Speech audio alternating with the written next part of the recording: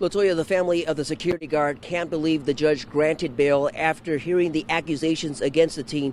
Prosecutors described the 16 year old as a merciless killer who took pictures of the dead man's body. 16 year old Anthony Okelberry held back tears as his defense lawyer and prosecutor argued over a bail amount.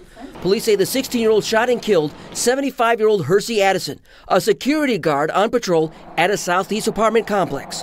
Okelberry's attorney argued her client needed to be out of jail so he could go to school. His family is here. We could put the ankle bracelet. He needs to be in school. The defendant is 16 years old, Your Honor.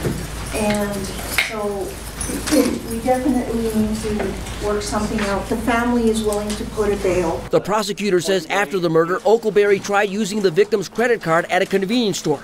He also allegedly pulled out his cell phone after the shooting.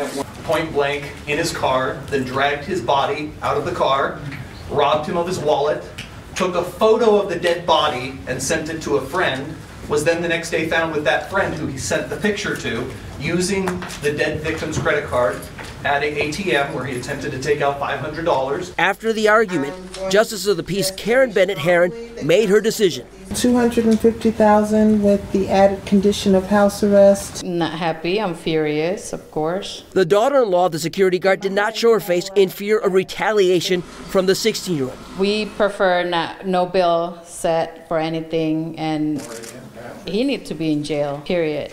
The conditions of the bail would put Okelberry on house arrest, but would allow him to go to school if permitted. Police say they arrested Okelberry at Del Sol Academy, where he had a 9mm handgun. He don't need to go to school. Like he, he needs to be in prison. The daughter in law believes if Okelberry is free, he is a threat to everyone and her family. He can go to school with the gun.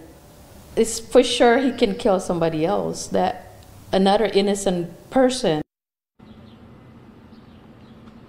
Metro Police say that Okelberry is still at the Clark County Jail.